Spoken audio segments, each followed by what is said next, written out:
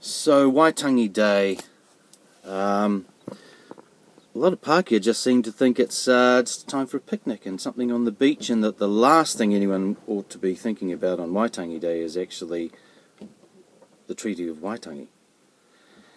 Uh, and we should all just be getting on with the idea of New Zealand and um, whatever.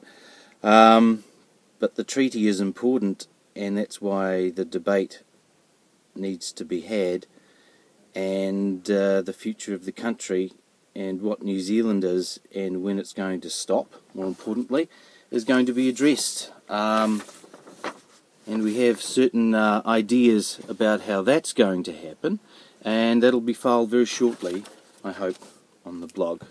So, uh, happy Waitangi Day.